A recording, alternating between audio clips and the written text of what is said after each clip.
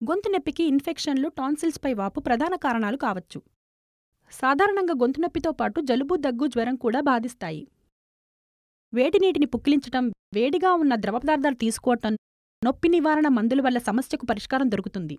మీరు ఒక వారం కంటే ఎక్కువ సమయం గొంతు నొప్పితో బాధపడుతూ ఉంటే వెంటనే వైద్యుణ్ణి సంప్రదించడం మంచిది. ఈ విషయమే మీకు సహాయం చేయడానికి జనరల్ ఫిజిషియన్ ఆన్లైన్లో ఎప్పుడూ అందుబాటులో ఉంటారు.